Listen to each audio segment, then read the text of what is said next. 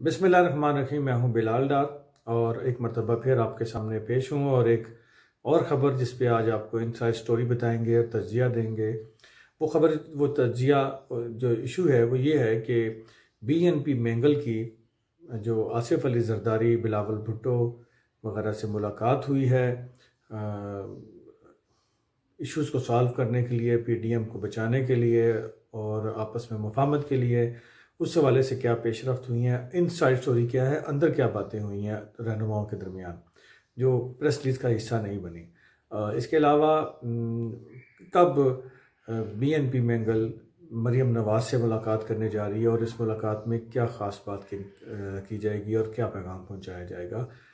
तो इस हवाले से आज हम बातचीत करेंगे। तो इस बातचीत का आगाज़ करने से पहले मैं दोस्तों से रिक्वेस्ट करूँगा, जिन्होंने अब तक हमारे चैनल को सब्सक्राइब नहीं किया यूट्यूब पे हमारे चैनल पाकिस्तान वाला टीवी को ज़रूर सब्सक्राइब कर लें, ताकि आप लम्हा बलमा जो इश्यूज़ हैं, जो अपडेट्स हैं, उसके आप आप तक पहुँचती रहें। तो जी दोस्तों सबसे पहले तो बी एन पी मैंगल ने ये एक बहुत खूबसूरत कार्ड खेला है पोलिटिकल कार्ड कि उन्होंने मुफामत के लिए एक ख़ुद से स्टेप उठाया है। यहाँ मैं ये बताता चलूँ, आपको इल्म में भी होगा कि बीएनपी बेंगल को पीडीएम की तरफ़ से ये कोई टास्क नहीं दिया गया कि आप जाएँ और जाके सबसे मिलें और बोला उनको राज़ी करने की कोशिश करें।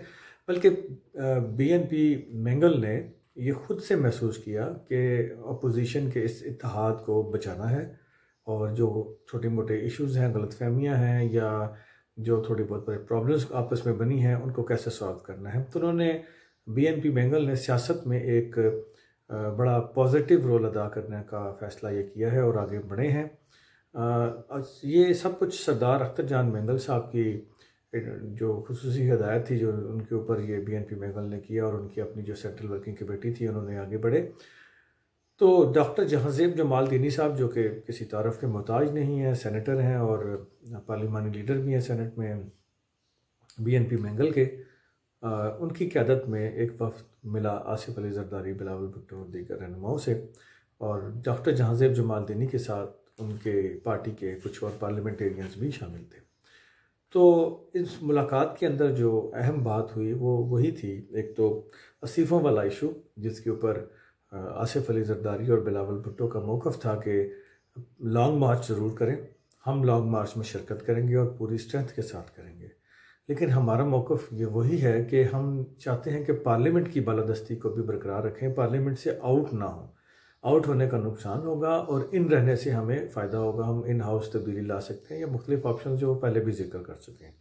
उनके ऊपर उन्होंने बातचीत की। यहाँ एक ख़ास जो बात यह थी कि वो भी चाहते हैं कि पीपल्स पार्टी जो हमारे जराए ने बताया कि पीपल्स पार्टी भी चाहती है कि पी डी एम का ये इतिहाद बरकरार रहे। और हमारे मौक़ को भी सुना जाए, माना जाए, इसकी हकीकत को भी तस्लीम किया जाए। और इस मौके पर पीपल्स पार्टी के रहनुमाओं ने यह भी वाजत किया कि वो किसी भी सूरत पी डी एम से अलग नहीं होंगे, बल्कि पी डी एम के साथ मिलकर मुल्क में जमहूरीत की बहाली के लिए कोशिश करते रहेंगे।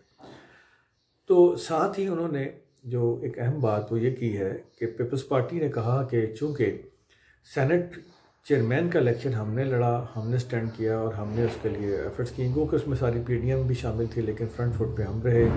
तो लिहाजा सैनट के अंदर जो लीडर ऑफ़ अपोजिशन है, कायदे हिस्ब इख्तलाफ का जो रोल है वो मुस्लिम लीग के बजाय पाकिस्तान पीपल्स पार्टी को दिया जाए। और ये पाकिस्तान पीपल्स पार्टी का हक भी है, जो उनका मौक़ है। जिसके ऊपर उन्होंने कहा कि आप इन पे बी एन पी मैंगल के रहनुमाओं को कहा कि आप इनको राज़ी करने की कोशिश करें। तो डॉक्टर जहांजेब जमाल दीनी साहब ने हमारे ज़राए के मुताबिक इस मौके के ऊपर उनको कायल किया, पीपल्स पार्टी को कि आप अपने रहनुमाओं को, लोगों को रोकें कि वो एक दूसरे के ख़िलाफ़ बयानबाजी से इजनाब करें बयानबाजी ना करें। इससे दूरियाँ बढ़ेंगी और अखलाफात पैदा ज़्यादा होंगे। जैसे इतफाक़ और पीपल्स पार्टी की पार्ट क्यादत ने बाद में इसका तहरीरी तौर पर ऐलान भी किया।